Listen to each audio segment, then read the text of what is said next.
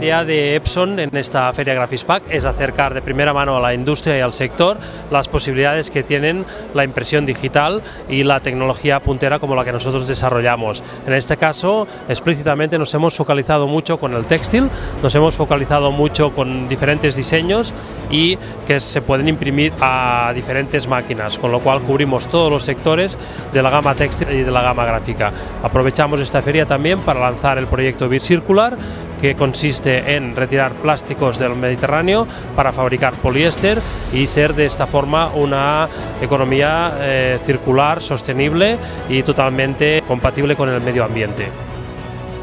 Concretamente, en este stand lo que queremos es focalizar mucho en la impresión directa textil. Y esta es la novedad, la impresión de camisetas personalizada y bajo demanda, que nos permite crear diseños únicos a través de nuestra tecnología con muchísima calidad y de esta forma pues optimizar las tiradas cortas y, la personalización que es lo que está creciendo en el sector.